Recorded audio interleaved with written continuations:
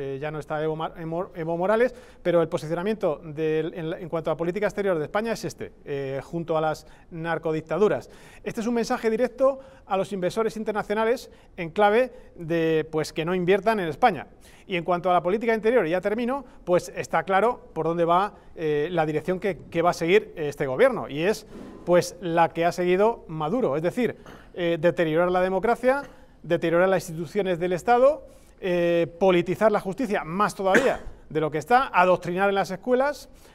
eh, adoctrinar también a través de los medios de comunicación subvencionados y, por último, a través de una inmigración ilegal